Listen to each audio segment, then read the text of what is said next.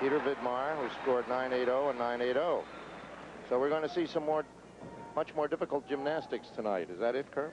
Well, in some instances you will. Now Peter will mount with a full in back out, double back with a full twist, does not make a move on the landing, does not create a deduction there. Second tumbling run, round off back handspring, double tuck, a little bit of a deduction there, walking backward. The gymnast is required to throw at least three C's and three B's and two A's in this competition. Now, a C is the most difficult skill in gymnastics, A being the, the easiest. There's his press to a handstand, showing balance. And he must hold that for two seconds. The Crowd is with Peter at this point. His third tumbling run, handspring, full twisting dive roll. And now he'll move right into a scale which also shows balance. That tone you just heard indicates 50 seconds. The gymnast has 50 to 70 seconds in which to perform his routine.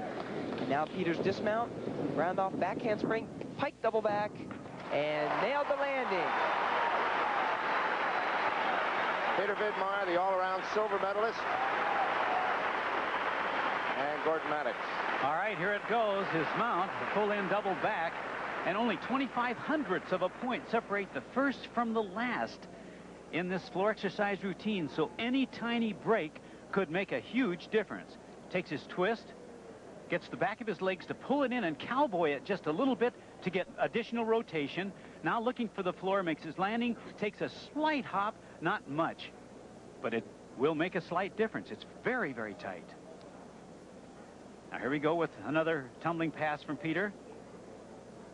Should be another double back somersault. Takes it up big. Pike double back. And another good landing. Very good landing. Just about as good as you're going to see, by the way. And there is the score, 9-7-5.